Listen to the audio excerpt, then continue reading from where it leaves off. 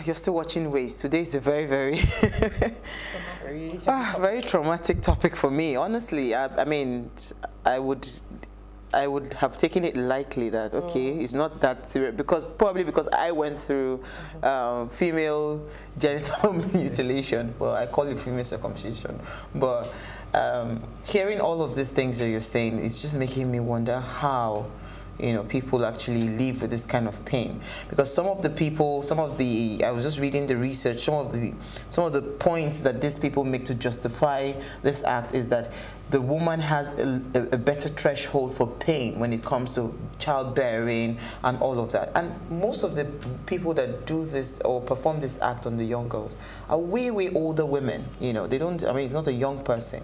And these things keep going from generation to, to generation. generation. So if we were to curb this or to completely eradicate it, you know, who are we talking to? Are we talking to the young people or we're talking to the older women?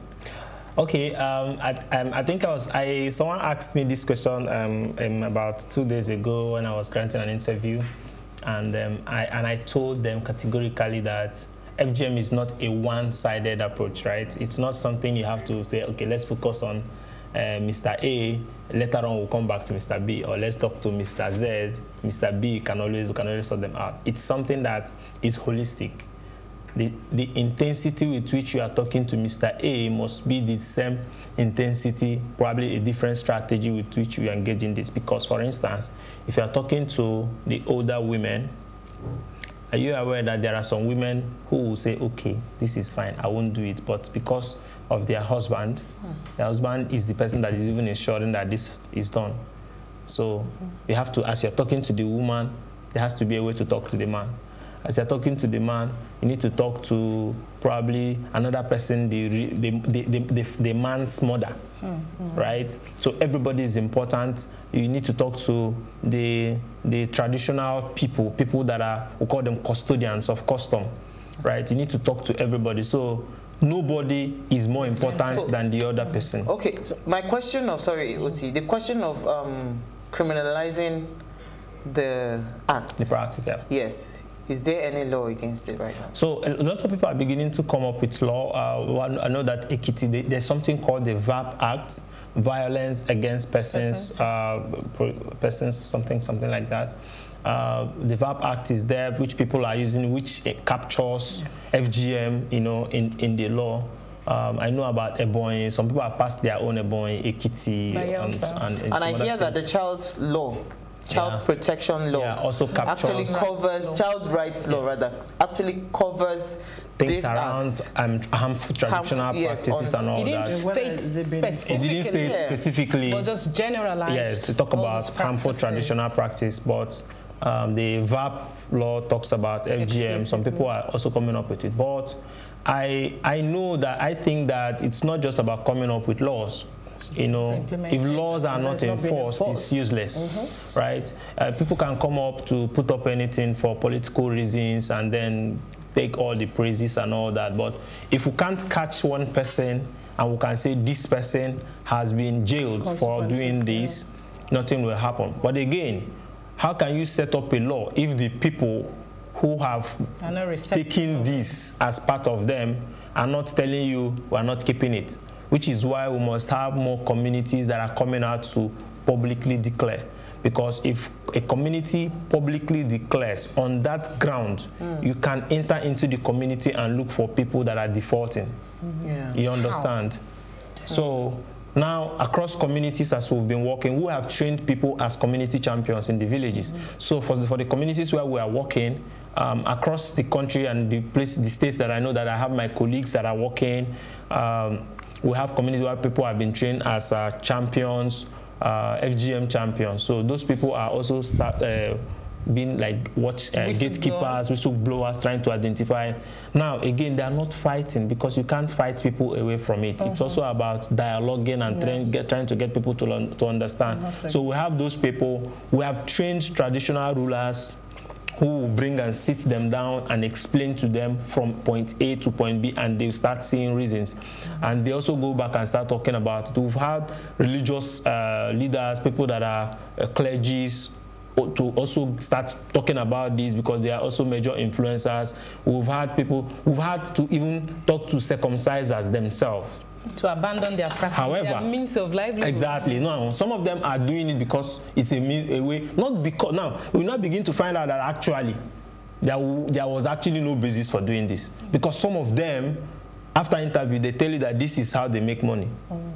So in which case, you are actually not doing this because you want to save the girl, but you're doing this because Guess you want what? to make money. Guess That's what? Because what I, I, I, I had a conversation with my mom, you know, when circumcision was happening yeah. in the 80s, it was not about money because it was really like peanuts, okay. literally. In fact, what she was saying was that you give them snail, mm. you give them oil, yeah. you give them like the cutting materials and, you know, and very, very tiny. So how would somebody make money off of that? So I tell you the truth right now, a lot of people are, it's like, it's now a, a business making stuff for some people right mm. now you know because people have to travel some people used to travel all the way from the city to go, to, to go home to do go it and get it done. I can't. Okay. You understand what I'm saying? So it's something that is so treasured. You understand? okay, so they found now that it's a good, a viable source of income. So yes. again, capitalism at its exactly. Best. I was just even going to speak to um, the International Day of Zero Tolerance. Uh, can you tell us a bit about that? What it stands for? Okay, the International Day of Zero Tolerance is actually uh, a day. It's celebrated every 6th of February annually. It's a day set aside by the UN, you know, to commemorate the the entire drive and push to eliminate the practice of zero, um, FGM. Uh, it was actually declared by our late former uh, First Lady, the wife of uh, Chief Olusegun Obasanjo, Mrs. Stella Obasanjo, uh, in wow. 2003 during a conference of um, uh, that, that inter, International African Committee of, um, on the stoppage of harmful traditional practices, where she declared the entire um, International Day of Zero Tolerance and after the declaration, it was now adopted by the United Nations, oh, you know, to now be, you know, to now be an annual annual celebration. So ever since 2003, every year February 6th, um, um, um, the, the, entire world celebrates. So what that. do you do on that day? So on that day, we have a lot of, of course, it's a global commemoration. So a lot of people have a lot of conversation around, you know, drive and strategies okay. to to stop the practice. All the stakeholders come out. We celebrate people that we call survivors. That will have people, you know, again, I mean, I, I must also have to also celebrate you for even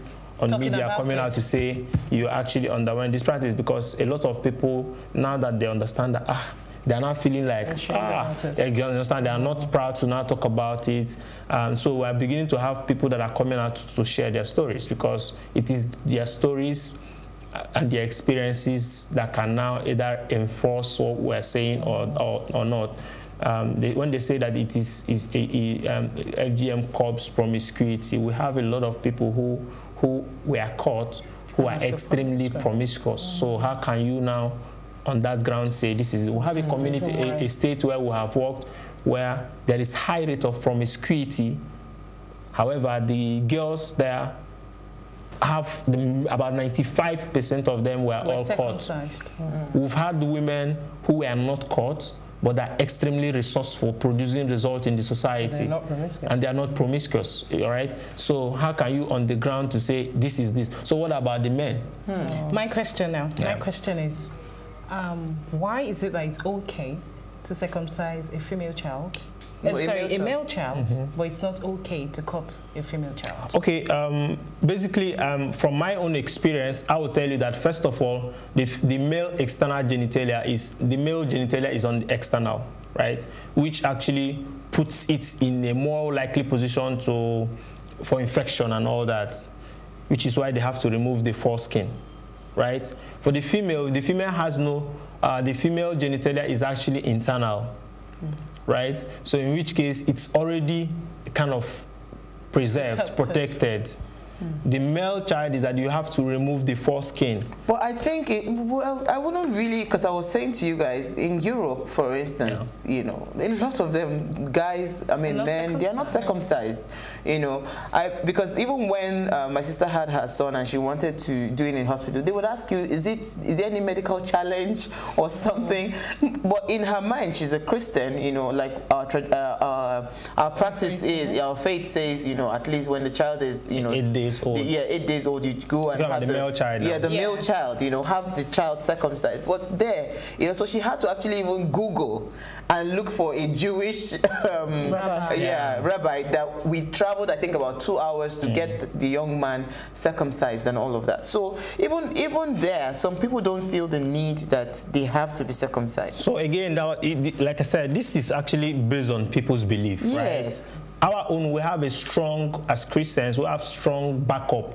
to say from the scripture that we believe. So where yes. I'm going with the yeah. conversation is because I mean, listening to my mom, it was a very strong conviction mm. that, you know, this promiscuity thing you're talking about is a very strong uh, conviction that they also were, um, it was handed down to them. Mm. That if you do not circumcise your female child, she will be all over the place, you know, jumping from mm. one man to the other. Yeah. It was very, very strong. Legit. The way we are strong about, we're convinced about having a male child circumcised -hmm. is the way they feel that. So how will we be able to break that conviction because this is just a, for me it's a culture thing i asked my mom i said if you were given a chance today would you circumcise she said never you know okay. because now she knows better mm -hmm. a lot of these people are misinformed mm -hmm. they don't really know yeah. so but what they have been taught is that okay I have to do this, you know, for you to, for the child to be, so the child will not be too, um, um, like her sex drive will not be too much and yeah. all of that. Mm -hmm. So how do we break that?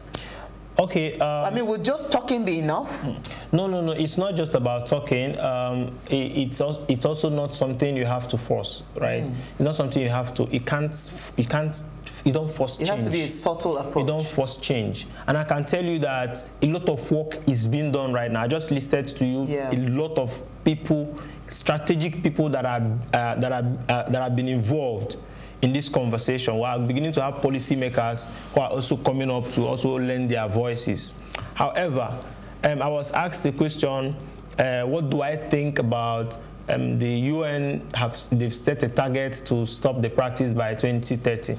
Do I think it's feasible? It's feasible, yeah. And I asked, I told them that the truth is that a goal, if you set a goal, if just one goal, and give yourself 50 years to achieve it, it will be dependent on the intensity of your action. If you set a goal to achieve one task and you fold your hands for 100 years, nothing gets done. You set a goal to achieve 20 tasks and you want to achieve it, you set a, a timeline of 10 years and you increase the capacity of your action. You can even achieve it in less time, less than the okay. time. Okay, so sorry, let me let me quickly take All a right. message from um, our WhatsApp platform. Somebody says, "Good evening, fam. Ooh, this topic is overwhelmingly disturbing in many shades. I really want to understand the process involved in women um, entirely changing their genitalia. What is the process like? Is it also a form of mutilation? Can we have because um, we have heard cases of women who ent um, entirely change their genitalia by removing the whole female reproductive part and replacing it with a male reproductive part. What happens in this case? That's cases of transgender. transgender. Yeah. So uh, uh, that's um, that's I, anonymous. Uh, what what what uh, you just asked right now? You talk about removing the entire and then changing. That's now a choice issue. Yeah. You understand? That's now a different conversation altogether. It's now it's not something we can. Um, it's a choice thing that somebody just wakes up and say, ah, I don't want I to don't be want a woman again. No, I want to be a man. Mm. It's a different conversation here. But then, and the person is doing it as an adult. Uh-huh. Exactly. So that one is not a problem. This other one we're talking about is that in most cases, it's been done on a child who has no right to choose. My question now is: um, over the years, is there any reduction? Do you think there's it's reduced and the rate is reducing? Um, is there a surge? Uh, uh, again. Uh, I think people are becoming more aware, okay. right? People are becoming more aware that this is a challenge. people are becoming more aware that even though um, it's it's a culture that the forefathers, the foremothers, the ancestors passed across to them. They're beginning to see the the thin lines, the connections to a lot of things, because there are more very sensitive things, more important things to discuss in today's world than a lot of archaic belief system that people you know think about. Because coming to think of it, um, I'll come back to your, your question in terms of if the I numbers, think if I think if that there is an awareness. Yeah. Uh, but then the challenge is that if we understand the the the effect it has on ladies, right? Because if you are not directly affected, you are indirectly affected. You know, it can be your friend, it can be your wife, it can be your uh, colleague somewhere. And if somebody like that in the workplace, or if is a colleague suffering from trauma or shock, or each time the person remembers it, the person jacks up and productivity reduces, it affects you that is working and you may not understand what the person is passing through. So back to your question, I think that a lot of work has been done more people are getting more aware. In fact, in one, one of the work that I do is that I'm working with UNICEF and cutting the uh, on the UNICEF and cutting girls campaign to also use social media to you know come up Raise with this conversation. Yeah. Yes, so people are becoming more aware, and we're also hoping that they are not just aware; they're beginning to also take decisions. Okay, so there's somebody out there right now mm -hmm. saying to my to themselves, "I want to get involved." You know, how can I also be part of this campaign to, to raise the awareness and stop it? So what and what, I mean, what, what, can what, can they do? What is available for them? Where can they engage and all of that? So, I mean, um, the issue of FGM is online. The person can join the... So every, every um, Thursday, for instance, we have a platform where we get to discuss uh, for the past uh, it's over three, four years now, every Thursday back to back, and then every Tuesday we'll get to do I think once in a month, but I know of it Thursdays where we get to do conversation on Twitter around female genital mutilation with the hashtag End Cutting Girls. It happens every so all the young people who want to add their voice gets to be part of that conversation where we talk about different you know areas where this is happening. And from there people can start getting aware and also start educating people around them to say this is not good and this is good.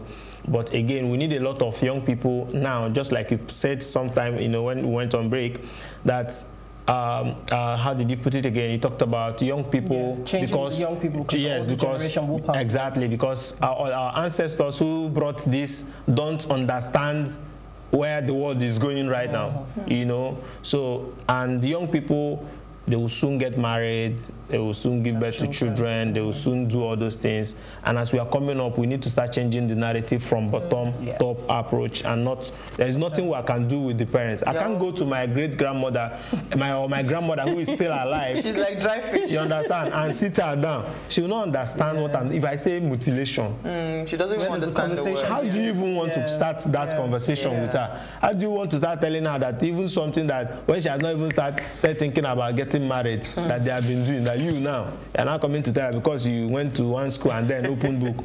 So it has to be young people coming up yeah. with the conversation because if we are not directly affected we are indirectly affected. Well, can I go you. for another question? No you cannot. Of course sadly we, we've run out of time but I want to say a big thank you. And um, I think for us we might end up adopting this um, as an, one of our projects as well here on, on the show because we are women, you know, I'm, I mean, I'm happy to share my own story, yeah. but I, I, really don't have a traumatic story yeah. like the woman. But I mean, we're women here, we'll continue to push for it and hopefully we'll be able to get more people to join us on this course because it's actually a fantastic, um, it's a fantastic thing to end. Yeah, judging by this explanation. I was just going to, to, ask if there. So I know there's a hashtag we, if we want we, to continue the conversation. Yeah, it's just end cutting. Yeah, we have end, end cutting, girls. Yeah. We have end FGM. We have youth end FGM. All right. Thank you so much, Mr. Raymond Okpani. Thank, Thank you. you. so much. Thank I've really been educated this evening. Thank All right. So catch us live every weekend from Fridays to Sundays at 8 p.m. as we bring thought-provoking,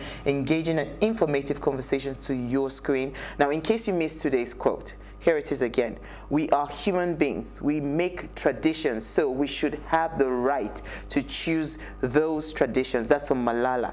So enjoy the rest of your evening. Ladies, you've had a very good, it's a very, it's a very show. calm show today. thank you. Very me. traumatic, but we thank God that, you know, we'll get more voices heard. Thank you. Thank you so much, Raymond. All right, have a lovely evening. Thank you.